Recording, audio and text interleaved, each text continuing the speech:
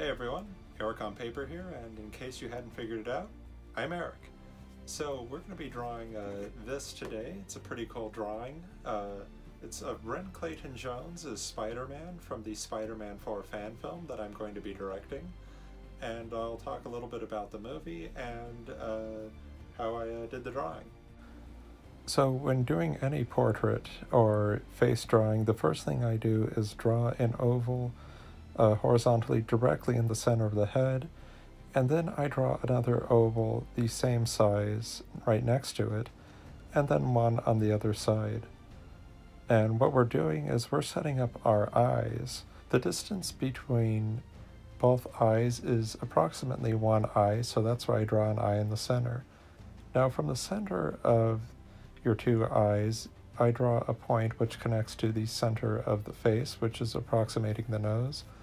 Draw two lines down from the center of the eye, and then draw lines out from the nose, connecting everything. That's roughly where the mouth is.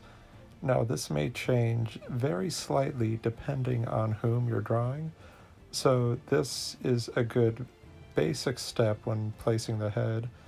And who we're drawing today is Bryn Clayton Jones, also known as Spider Man in the Spider Man 4 fan film that I'm directing. The request to do this drawing comes from a YouTube follower, Sonic Tron, and I hope you enjoy the final product. And though I don't try to draw in a particularly photorealistic style, um, I always try to have photo reference on hand of whatever subject I am drawing. Now, Bryn was kind enough to provide me with a selfie that I uh, told him to take, uh, referencing this angle because I'm his director after all. He should uh, do what I tell him. Bryn, that's for you in case you're watching. So just compare proportions and keep looking back at your reference image. Now, uh, Bryn has a pretty strong jaw and I wanted to capture that and I'm drawing with a pretty light lead in this mechanical pencil and uh, the rubber eraser I'm using just uh, obliterates it and you don't have to draw it perfectly the first time. So feel free to go back and adjust as many times as needed. The final result is what counts, not how long it took you to get there. And when I am doing a portrait drawing or just referencing a real person, um, what I try to do is look at what really makes that person stand out from everybody so you don't get that artistic trap of same face syndrome, which is where you draw literally the same uh, man or woman's face again and again, because that's what's called a construct. It's what your mind immediately goes to. And I wanted to make this look like uh, Bryn. Now, after I get the shape of the eyes down, I then go in and draw the eyes themselves because otherwise uh, Bryn just looks like an undead or possessed Spider-Man, which, as cool as it sounds, that is not going to be in the film, so if you really wanted to see that, I'm sorry to let you down. Since the rest of this part is just going to be me filling in details, I was going to talk a little bit more about the Spider-Man 4 fan film. One of my favorite things about the film is uh, the script. It's what really drew me to the project. And we have rehearsed several key scenes of the film, and I am very impressed with the actors uh, that Bryn has chosen for the project. And the thing is, normally as a director, I cast uh, the films that I make. So this was the first time that everyone had been hired uh, before I got there. And yes, in case you're curious, I am playing Alistair Smythe in the movie. And in my opinion, the film should have been called Spider Man 4 The Rise of Smythe, but I'm the only one who has this opinion, so uh, it's not going to be a thing. But in all seriousness, um, we've rehearsed scenes at the Daily Bugle, and we've rehearsed all the scenes with uh, Peter Parker and Mary Jane Watson. And what I really love about the film, and about the script in particular, is that there are many layers to it. Like, the Daily Bugle, for example, the film is set in 2009, uh, when the movie would have come out. So the Daily Bugle is contending with things like uh, digital overwhelming print, and it's a minor detail, but it's something that the actors play off of. It gives Jonah something to yell about, and I think is a tribute to how much research went into uh, the material. And in keeping with uh, Spider Man, the Raimi trilogy tradition, Peter and Mary Jane's relationship is, of course, rocky and tumultuous. And I want to give a lot of credit to uh, Bryn and Leona Britt, uh, playing Peter and Mary Jane, respectively. They did a great job in the rehearsal. Uh, they both knew details about their characters. We were citing specific issues and story arcs in the comics that I wanted them to reference, and they knew it already. And what I liked particular about the Mary Jane character, who I think is one of the weaker aspects of the Raimi series, is that there's a lot more dimension and depth to her. She's not just a helpless damsel in distress. And now that that's looking like Bryn, or actually that's what Bryn wishes he looked like.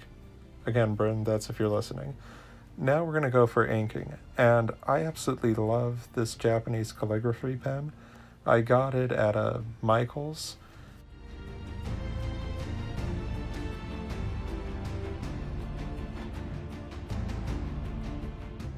It gives a lot of freedom, and obviously, this is time lapsed. I can't ink that fast. Unless, of course, you commission me, then I totally ink that fast. But um, the thing I love most about this is that it is very friendly with the Copic markers. Uh, no smearing, nothing like that. I had that problem with India ink. And I get some pretty fine lines, although not fine enough uh, for his webbing or costume detailing. And that's why I do all his muscles to give him kind of that old school look. And now I'm going in with the Copic ink pen set and using those uh, to fill in his details, uh, his webbing, things like that. And I have grown up loving Spider Man my entire life. My introduction to him was from the 90s animated show, and then I got to read all the comics, particularly the McFarlane ones. And I had, he was one of the first characters I drew, and I've never liked drawing his webbing. It's always been such a pain.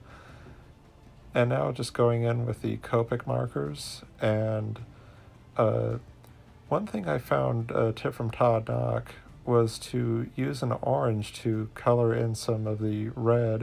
It just gives it more life and almost kind of a reflected look and uh, brightens up the character. And when I'm done with all of that, use cool grays for the shading and just use a white pencil over everything to add some highlights and uh, additional shading. Thank you, Sonictron, for the cool idea. And now some thoughts about the Spider-Man 4 film and some updates. I am playing Alistair Smythe. Uh, that's how I got involved with the project. Uh, I saw that there was a Spider-Man 4 film, uh, fan film being made and uh, with a casting notice, so I thought I'm going to send in my resume and a headshot uh, because I'm a big Spider-Man fan. Anything remotely close to it, I wanted to be involved with. And uh, at the time, I didn't have a reel, so I recorded myself uh, doing a monologue. And uh, Bryn and his creative team liked it, so they said, "Okay, do you want to be Alistair Smythe?" And I said, "Yeah, let me let me talk to my agent." Yes and things transpired where uh, he had seen some other short films I had made. Uh, the initial directors for the project had to uh, bow out for various reasons. And he liked what I did, and he said, "Hey, would you be interested in directing the film?" And I said, "Well, let me let me think about it." Yes.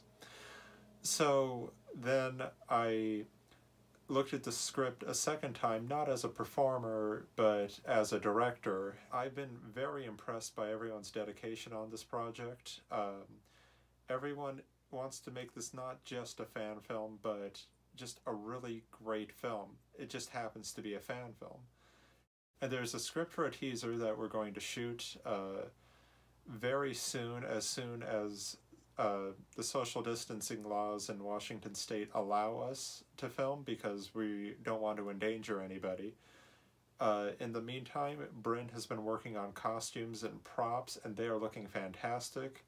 Uh, VFX Valor and Bryn are also collaborating on a Batman short that is really more just serving as a technical test for Spider Man. And I have been doing shot lists and storyboards, and if you guys want to see some of the storyboards and maybe I could talk about them, uh, let me know and I'll do a special video on that. And if there's any characters you want to see on the show or any characters you want to commission, feel free to reach out. I'd be happy to hear your request. And keep telling your stories.